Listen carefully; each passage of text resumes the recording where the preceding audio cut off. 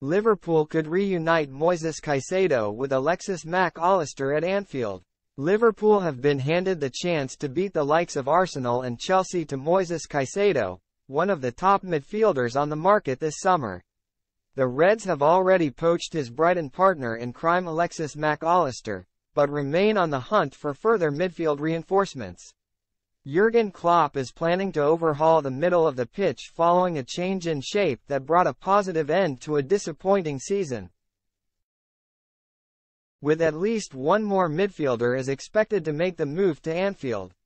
It was not expected to be Caicedo, however, as both Arsenal and Chelsea appeared ahead of Liverpool in the race for the Ecuadorian.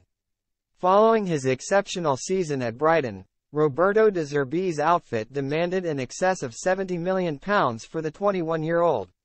It is something that the Gunners were prepared to pay in January, but now Mikel Arteta's side have their sights set on West Ham captain Declan Rice instead. Arsenal have since cooled their interest in Caicedo despite wanting more than one midfield addition, as they could end up spending around £100 million on Rice and Caicedo could fetch a similar amount. The Gunners are instead targeting Southampton's Romeo Lavia as their second signing to help replace Granit Xhaka, who is rated at £45 million. The news appeared to provide Chelsea with a boost as they looked to pair Caicedo with Enzo Fernandez for new boss Mauricio Pochettino.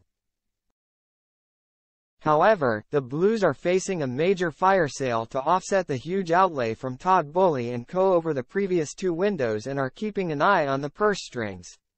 Talks between Chelsea and Brighton have been described as slow, with the Blues now unlikely to meet Caicedo's asking price following their new disciplined approach. They also have Lavia on their four-man shortlist of alternatives, alongside another Liverpool target Manu Kone.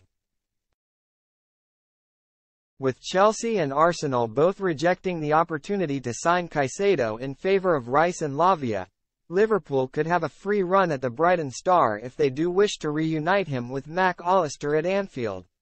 Whether they will take the chance remains to be seen, as he is reportedly not currently on the five-man list to follow Liverpool's World Cup winner to the club.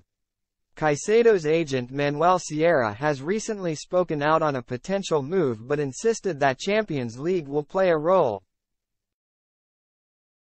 In a blow to the Reds having dropped out of the competition. Moises is very happy playing in the Premier League as he is now, but let's see what happens in the summer, Sierra told London World.